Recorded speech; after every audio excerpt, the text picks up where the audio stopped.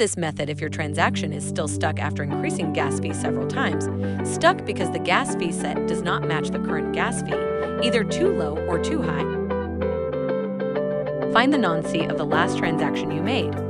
1. Copy your wallet address. Click on it in the MetaMask main screen to copy. 2.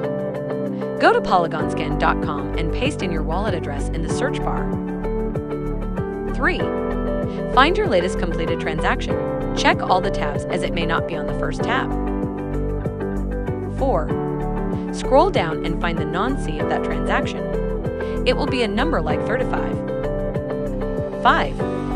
Please go to MetaMask Settings, Advanced, Enable Set Custom Nonce.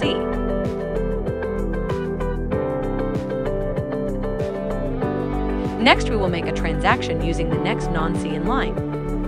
We will just send Zero Matic to ourselves as a basic test transaction. 1. Copy your wallet address again.